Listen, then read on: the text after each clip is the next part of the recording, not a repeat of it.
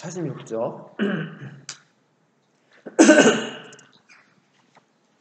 마가복음부터 한번 보겠습니다. 마가복음 어, 그리고 곧 성령 예수를 광야로 내보내셨다. 예수께서 40일 동안 광야에 계셨는데 거기서 사탄에게 시험을 받으셨다.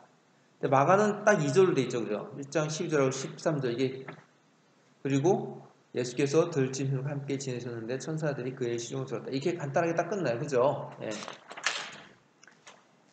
그러면은 근데 어, 마태를 보세요. 마태. 그 즈음에 예수께서 성령에 이끌려 광야로 가셔서 악마에게 시험을 받으셨다. 예수께서 밤낮 40일을 금식하시니 시당하셨다. 그런데 시험한 자가 와서 예수께 말하여 내가 하나님의 아들이거든 이 돌들에게 빵이 되라고 말해 보아라.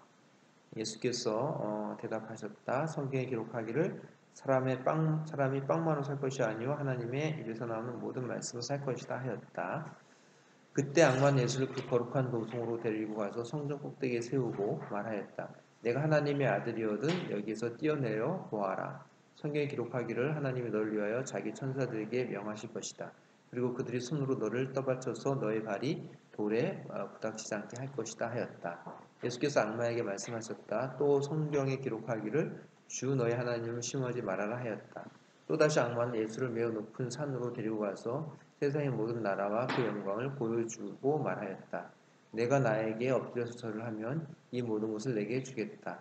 그때 예수께서 그에게 말씀하셨다. 사탄아 물러가라 성경에 기록하기를 주 너의 하나님께 경배하고 그분만을 섬겨라 하였다. 그때 악마는 떠나가고 천사들이 와서 이렇게 시동을 들었다. 그러니까 이제 이 마가의 이 시험 짤막한 어, 이야기를 마태는 굉장히 확장을 시켰죠, 그죠?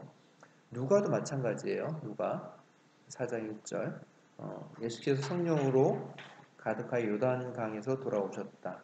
그리고는 성령에 이끌려 광화로 가셔서 40일 동안 악마에게 시험을 받으셨다.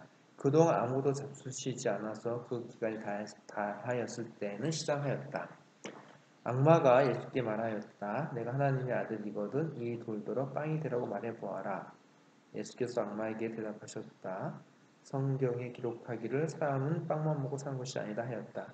그랬더니 악마는 예수를 높은 데로 이끌고 가서 순식간에 세계 모든 나라를 그에게 보여주었다. 그리고 나서 악마는 그에게 말하였다. 내가 이 모든 권세와 그 영광을 너에게 주겠다. 이것은 나에게 넘어온 것이니 내가 주고 싶은 사람에게 준다. 그러므로 내가 내 앞에 엎드려 절하면 이 모든 것을 너에게 주겠다. 예수께서 악마에게 대답하셨다. 성경에 기록하기를 주 너의 하나님을 경배하고 그분만을 숨겨라 하였다. 그래서 악마는 예수를 예루살렘에 이끌고 가서 성전 꼭대기에 세우고 그에게 말하였다. 내가 하나님의 아들이거든 여기서 뛰어내려 보아라. 성경에 기록하기를 하나님이 너를 위하여 자기 천사들에게 명하여 너를 지키게 하실 것이다 하였다. 또한 그들이 손으로 너를 떠받쳐서 너의 발이 돌에 붙이지 않게 할 것이다 하였다. 예수께서 악마에게 대답하였다. 성경에 기록하기를 주 너의 하나님을 시험하지 말아라 하였다. 악마는 모든 시험을 끝마치고 물러가니 어느, 어느 때가 되기까지 예수에게서 떠나 있었다. 어, 자, 여러분 그 마태하고 누가에서 가장 큰 차이가 뭔지 아세요?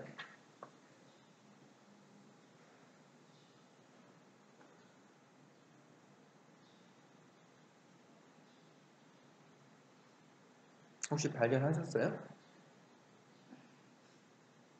일단 마태는 그 시험하는 자로서 물론 얘기를 하다가 나중에 그 시험하는 자가 어, 악마로서 이렇게 얘기를 하고 있는데 예, 일단 누가는 3절에 그냥 처음부터 어, 악마 어, 데블 데블로서 얘기를 하죠. 얘기를 하고 있고. 그리고 둘다 어, 하나님의 아들이거든 하나님의 아들이거든 이 돌도로 빵이 들어가 이건 이제 맞아요. 근데 이제 두 번째가 바뀌어 성 이게 바뀌죠.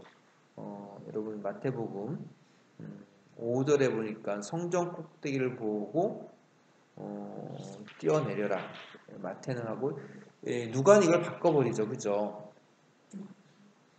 누가복음에서는 그 마태가 세 번째 했던 성명 그 시험을 두 번째로 그리고 두 번째 걸 세 번째로 이렇게 바꿉니다. 예, 바꿔서 음, 이제 마태 보 마태 보니까는 여기서도 이제 공이 말하는 게 내가 하나님의 아들이거든. 어, 그러니까 이제 하나님의 아들이라는 것은 사실은 여러분 이 시험하는 이 이야기를 듣, 들으면서 구약의 어떤 부분이 떠올라요? 네? 여러분 욥기 보면은 이제 시험하는 그, 이제 그 사탄이 하나님께 가가지고 이제 내가 시험하겠다 고서 이제 욥을 시험하는 것처럼 이제 그것이 좀 이렇게 마태에는 이제 나오죠. 누가에도 마찬가지예요. 이제 특히 마태 같은 경우에는 어 그래서 하나님의 아들이거든. 어, 그러니까 이제 사실은 어, 뭐 마가도 그렇고 마태도 그렇고 보면은 이 마귀나 이런 악한 존재들이 예수님을 알아봐요. 그죠? 특히 이제 마가복음 같은 경우는 어 이제 다른 사람들은 예수님을 모르지만 귀신 들린 사람들 이런, 이런 사람들은 예수님께 거꾸로 지면서 하나님의 아들이시고 왜 나를 괴롭게 하십니까? 이런 식의 얘기를 하거든요. 예, 알아봅니다. 어, 그래서 네가 정말 어떻게 보면 이제 뛰어내려 보아라. 어, 그러니까 이제 그리고 이제 성경을 이용해서 얘기를 하죠. 어, 예수님이 이제 또 성경 말씀을 이용해서 어, 물리치시고 어, 그래서 그리고 이제 11절에 마태복음 악마는 떠나가고 천사들이 와서 이렇게 시종을 들었다. 아, 근데 이제 누가는 그냥 악마는 그냥 떠나가고 어, 그것으로 나오죠. 그래서 이제 둘째랑 셋째가 아, 이게 바뀌거든요. 순서가 바뀌는데 뭐 순서가 바뀌어서 무슨 차이가 생기나요? 음,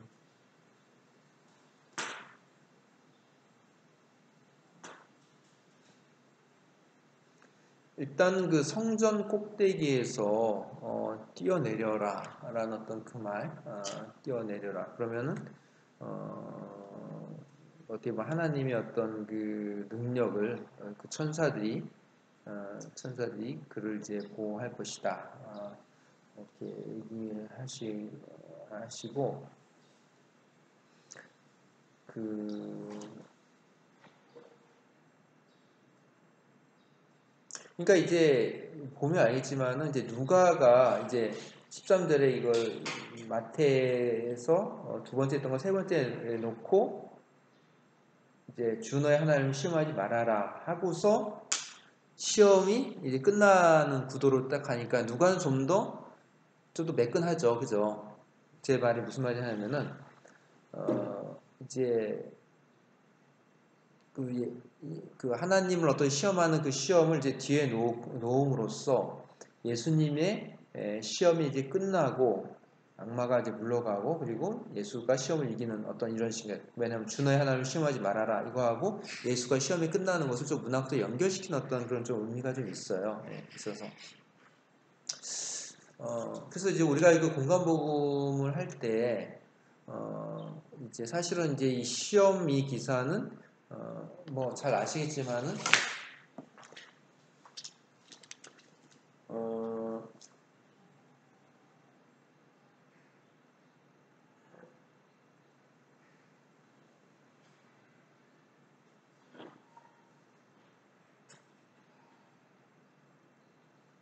이 시험 기사는 이제 우리가 Q 문서에도 포함이 된다고 해요. 예, 그러니까 시험이 좀 특이한데 예, 왜냐면은 보통 이제 아시겠지만 Q는 Q 복음서는 어, 예수님의 어떤 이야기를 중심으로 이렇게 하거든요. 이야기 담아. 근데 이제 이거 시험은 약 예수님의 어떤 그 담아 어록을 중심으로 하는데 이 시험 이야기는 예수님의 어록도 나지 어떤 좀 약간 사건 이런 거 있는데도 불구하고 이제 Q로 학자들이 집어넣습니다. 예. 이렇게 돼 있고. 자, 혹시 예수님의 시험 이거에 대해서 여러분들 혹시 뭐 궁금하신 거나 어, 더 하실 얘기 있으신가요? 자, 40이라는 것은 굉장히 의미가 많죠. 여러분 40일 하면 뭐가 떠올라요?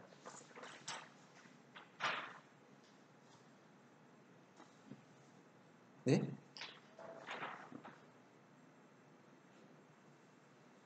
손미경 사모님, 이게 40일 하면은 뭐, 뭐가 떠오르세요? 예, 그것도 떠오르고, 또 40년 시험 봐가지고 또, 또 이스라엘 백성이 40년 동안 광야에서 머물 때 그것도 그것도 시험을 받는 거잖아요, 그죠? 예, 그것도 연결돼 있죠. 그리고 또 40이라는 숫자가 많아 많이 나와요.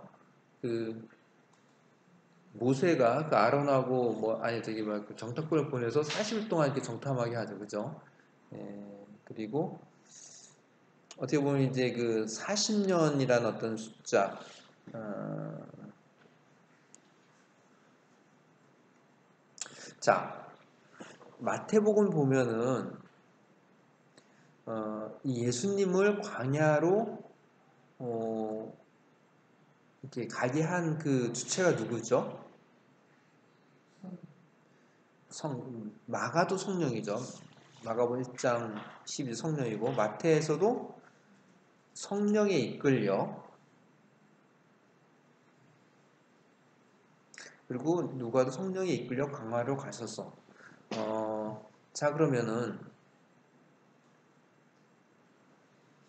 그리고 이제 마가는 성령이 예수 광야로 내 보내셨죠. 예.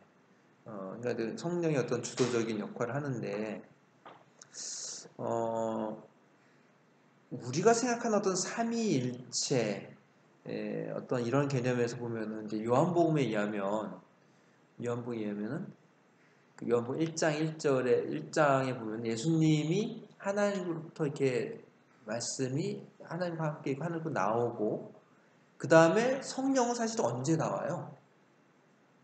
요한복음에 의하면은 예수님이 이제 성령을 받으라. 그러니까 굳은 요한복음에서 어떻게 보면은 어, 하나님, 예수님, 성령 요 순서로 가는데 근데 이제 공관복음에서는 이제 그게 명확하지 않아요.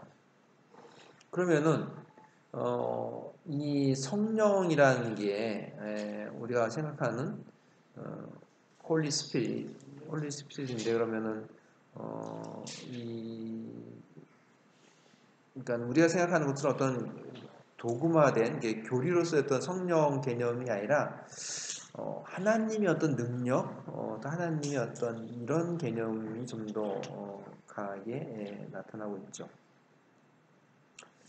음, 자 마가에서는 마가에서는 광야 여러 광야도 여러분 그 이스라엘 백성이 40년 동안 광야 시험 받은 거가 유비가 좀 되고 어, 그 다음에 마가에서는 광야에 계셔서 거기서 시험을 받게 간단하게 딱 끝나죠. 그리고 이제 예수께서 들치는 함께 계시고 천사들이 시중을 받다 시험을 시험을 받 시험을 받았지만은 뭐 어떤 시험을 받았는지는 안 나와요. 그죠? 그런데 이제 마태나 누가는 그걸 이제 확장해서 이제 세 가지 시험을 이제 집어넣습니다. 세 가지 시험을 집어넣고 음 그래서 이제 어, 어떻게 보면 이제 이 마가복음이 먼저 쓰여졌고 이제 마태와 누가가 이걸 확장시켰다는 어떤 이야기를 이제 하게 되는 겁니다. 하게 되는 거고 어,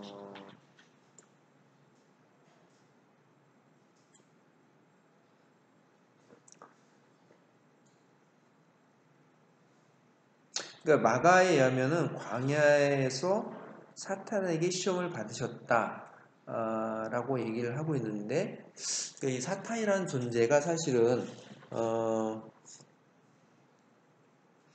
그러니까 우리가 이렇게 어떻게 보면은 이그 데블이나 어, 악마나 이런 식이었던 존재가 아니라 어 그러니까 이제 좀 뭐냐 좀 두리뭉실하게 예, 좀 이렇게 마감 이제 기록을 해놓고 있습니다. 그래요. 이제 시험을 대충 봤는데 혹시 뭐 궁금한 거 있으세요?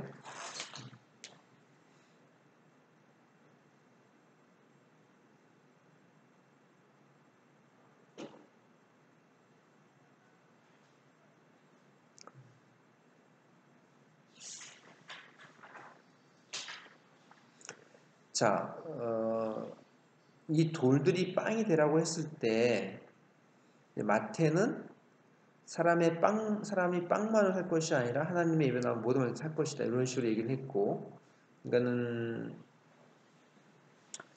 그러니까 좀 더 영적으로 이제 마태는 이제 바꾸죠. 이게 무슨 말이냐면은 이 빵이 어떤 하나님의 말씀 이걸로 바꿔 영적으로 바꿔요. 근데 누가는 그냥 사람은 빵만 먹고 사는 것이 아니다. 이것을 그냥 끝내버려요.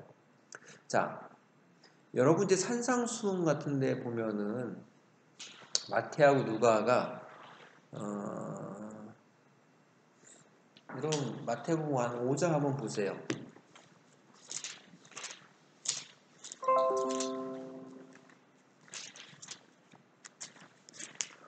5장 1절 보면은 5장 1절 어, 5장 3절 심령이 가난한 자는 복이 있나 천국이 그들의 것이며. 이렇게 얘기하죠. 그죠? 심령이 가난한 자는 복이 있다. 그러니까 이거는 심령이 가난한 거는 정말 가난한 사람도 심령이 가난할 수도 있고 또 부자들도 간, 뭐 심령이 가난할 수도 있죠. 그죠? 영적으로 이렇게 얘기를 하거든요. 근데 누가 보고 보세요. 누가 6장 20절 한번 보세요.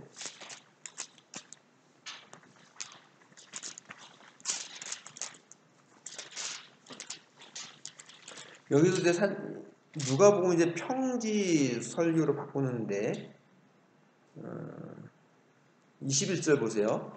지금 줄인 자는 복이 있나? 그러니까 이제 이 이것도 재밌는데 누가 보고 마태, 마태의 그 산상 설교를 평설교로 바꾸고 좀 더 압축을 시켜요. 좀 더 한데 자 지금 줄인 자는 복이 있나니 너희가 배부를 얻을 것이며 지금 온 자는 복이 있나니 너희가 웃을 것이며 자 누가복음은 마태랑 가장 큰 게 뭐, 뭐, 뭐가 달라요?